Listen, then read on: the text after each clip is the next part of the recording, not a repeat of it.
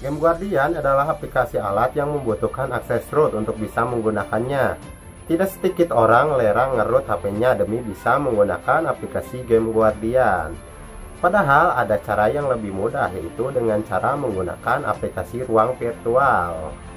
Nah teman di video kali ini saya akan membahas cara menggunakan Game Guardian tanpa akses root. Oke langsung saja kita masuk ke tutorialnya.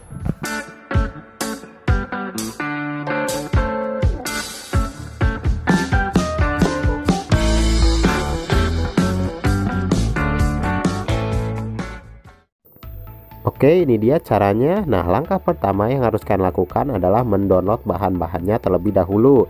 Nah silahkan buat kalian yang mau download aplikasinya silahkan download saja di link deskripsi.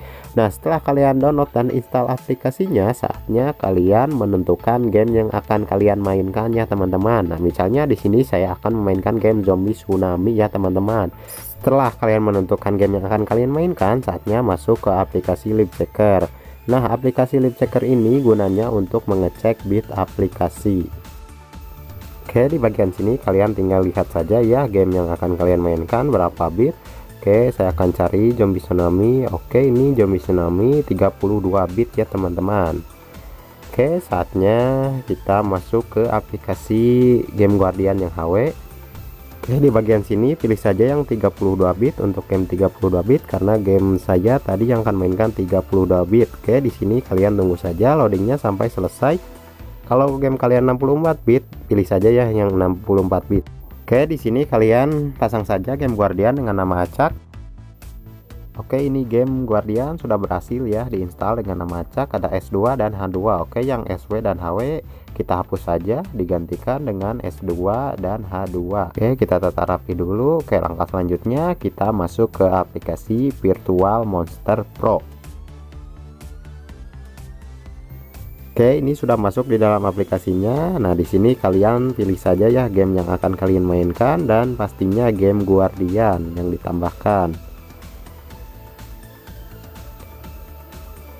Oke kita clone with monster. Nah ini sudah ada ya teman.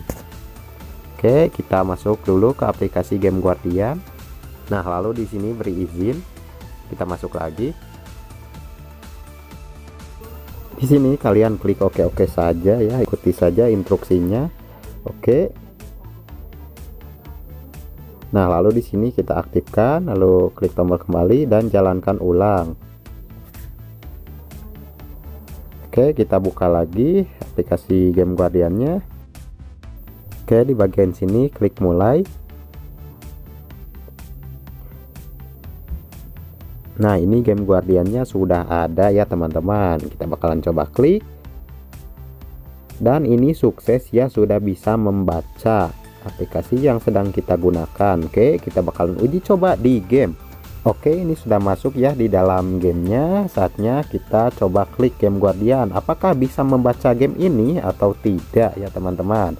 Oke kita klik. Nah ternyata sukses ya teman-teman. Game guardian bisa membaca game ini. Oke teman itu dia ya tadi untuk menggunakan game guardian tanpa akses root. Cukup mudah kan? Tinggal kalian ikuti saja Oke teman mungkin segini saja ya untuk pembahasan kali ini. Semoga bermanfaat. Sampai jumpa di video berikutnya. Cus support terus